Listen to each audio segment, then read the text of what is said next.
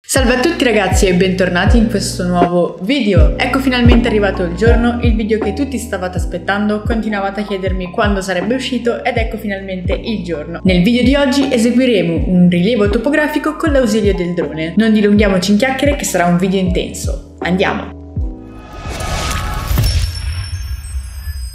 Prima di tutto ci tengo a fare un riepilogo di tutta la strumentazione e tutti i software che andrò ad utilizzare oggi in modo tale che sappiate già quello che vi occorre nel caso voleste procedere con questo tipo di rilievo. Il primo strumento fondamentale per la riuscita di questo rilievo è sicuramente il ricevitore e per oggi ho deciso di utilizzare un CHC i50 insieme al tablet da 6 pollici per rimanere leggera e il software Lenstar 7 e questo per quanto riguarda lo strumento di misurazione. Come drone utilizzo un Mavic Mini 2 molto carino, molto leggero e molto pratico. Per la gestione del drone sul campo utilizzo l'app Lici che mi permette di importare le missioni ed eseguirle, comunque dopo vedremo tutto nel dettaglio. Come software di gestione dei punti topografici e in generale per la nuvola di punti utilizzo Topos e per finire, per la ricostruzione della nuvola di punti, utilizzo il software Meshroom. Perfetto, ora che sapete tutto quello di cui avete bisogno, possiamo procedere con il primo step.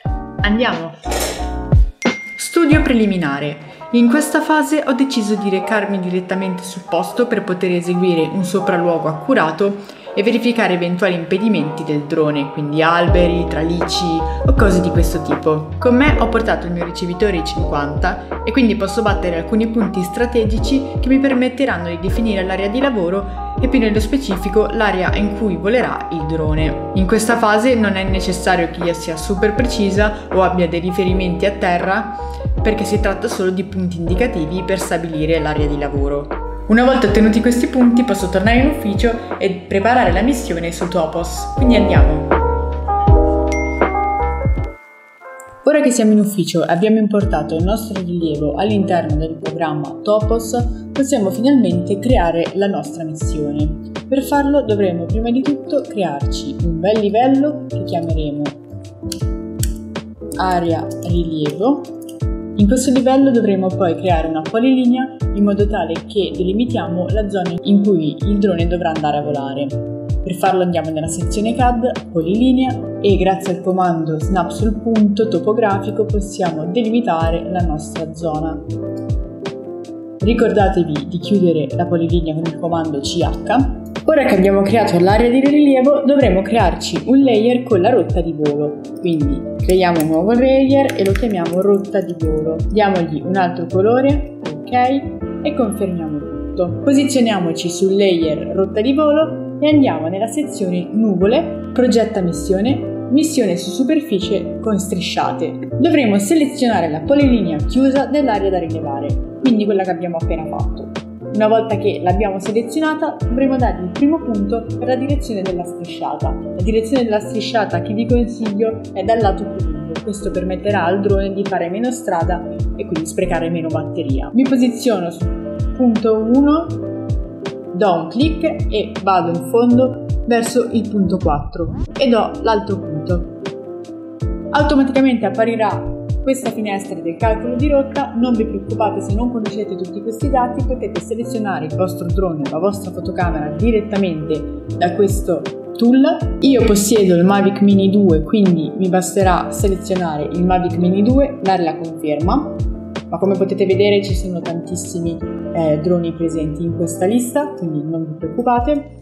Una volta selezionato voi dovrete solamente impostare la quota di volo, io decido di volare a 25 metri, la sovrapposizione delle strisciate, io voglio stare su un 70% e il gioco è fatto, quindi premete su calcola e vi appariranno queste fantastiche strisciate che sarà poi effettivamente il percorso che farà il drone. Non è ancora finita, dovremo crearci un nuovo layer Attenzione, la creazione dei layer non è obbligatoria, però ve la consiglio perché in questo modo potrete gestire il lavoro in maniera molto più facile e agile soprattutto. Questo passaggio non è fondamentale ma potrebbe esservi d'aiuto, ovvero quello di eh, generare una mappa sotto al nostro rilievo, giusto per darci l'idea del territorio.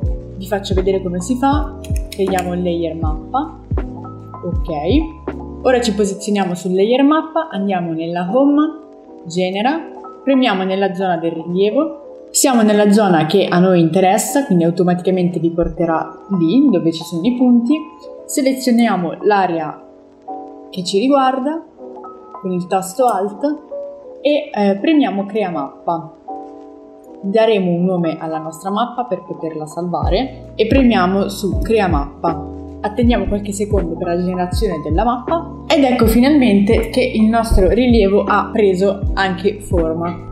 Come si sa, anche l'occhio vuole la sua parte. E tenete presente che avendo utilizzato i vari layer, se qualcosa vi dovesse dar fastidio, per esempio, che ne so, l'area del rilievo, potete defleggare il layer e la polilinea si spegnerà. Stessa cosa per la mappa, se vi turba in qualsiasi momento potete spegnere la lampadina e la mappa sparisce. Comunque, banda alle ciance, i dadi sono stati tratti, quindi andiamo su nuvole Simula missione, missione su terreno piano perché in questo caso è un terreno molto pianeggiante. E selezioniamo la nostra polilinea aperta della rotta di volo. Eccola qui, automaticamente ci darà una simulazione di volo. E saranno i dati chiave che ci serviranno poi per far partire la missione attraverso l'app VC. Quindi la velocità di volo è di circa 10 km orari, l'intervallo dei fotogrammi è 3 secondi, precisamente 3.6 può essere il massimo di secondi fra uno scatto e l'altro. Se premo su play mi fa anche vedere il nostro drone che fa tutto il suo percorso, diciamo che non è necessario, però come potete vedere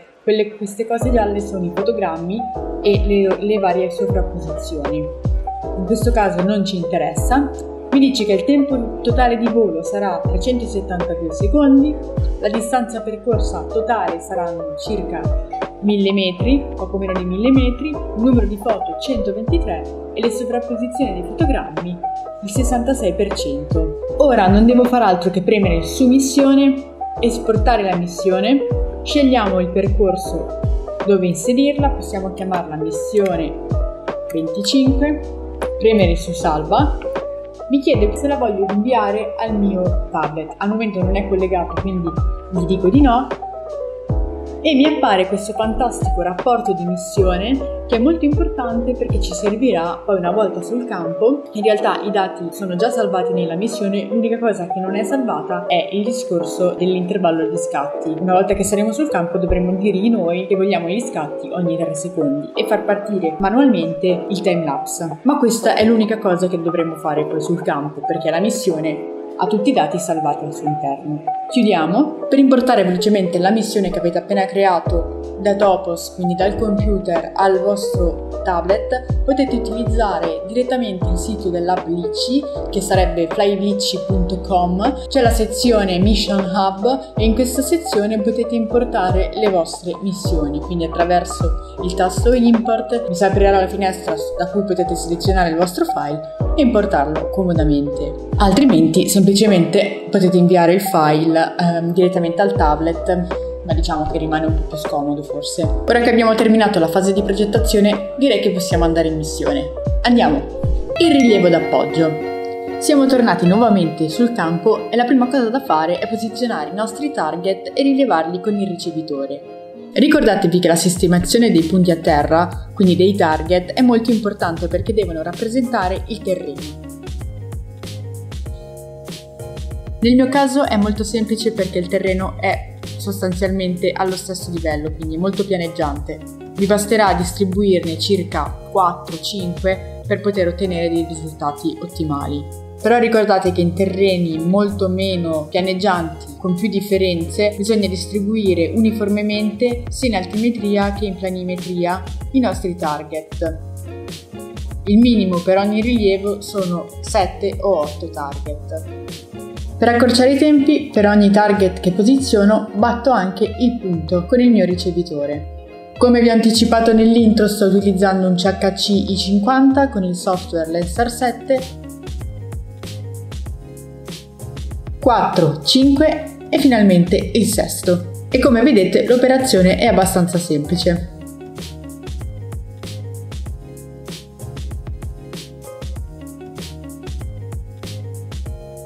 Una volta che ho registrato il punto posso spegnere il ricevitore e concludere il rilievo. Terminata la fase del rilievo di appoggio possiamo passare alla fase di volo. Prepariamo il drone, come vi ho detto prima utilizzo un Mavic Mini Per avviarlo è molto semplice, basta aprire le ali, collegare il radiocomando con il vostro tablet o il vostro palmare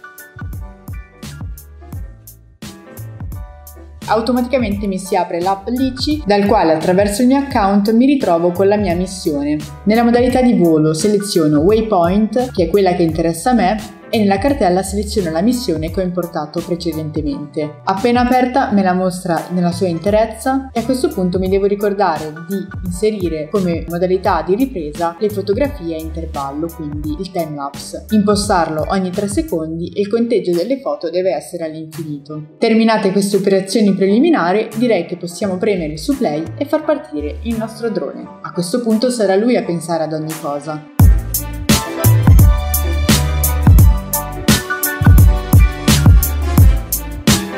Quando sarà arrivato quasi in posizione ricordatevi di cliccare sul scatto per far partire il timelapse.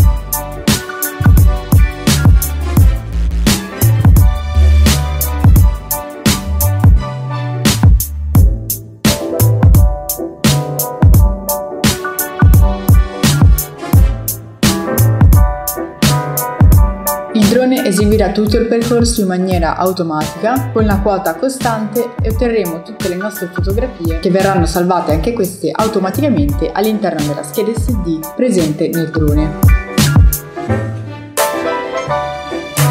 Quando la missione è terminata dovrete richiamare il vostro drone e farlo tornare al punto di partenza. Un consiglio se non volete sorprese in ufficio è quello di prendere subito la scheda SD presente nel drone e inserirla all'interno di un PC o come faccio io all'interno del mio cellulare per controllare subito se tutte le foto sono state scattate. Apro l'applicazione e controllo nella scheda dei media se ho tutte le foto. Ok, ci sono tutte, quindi possiamo andare. Bene ragazzi, le fasi del rilievo non sono finite, settimana prossima pubblicheremo la seconda parte così potrete vedere nella sua interezza come eseguire il rilievo topografico con l'ausilio del drone. Se volete supportarci ricordatevi di lasciare un like e iscrivervi al canale e ci vediamo nella seconda parte. Ciao!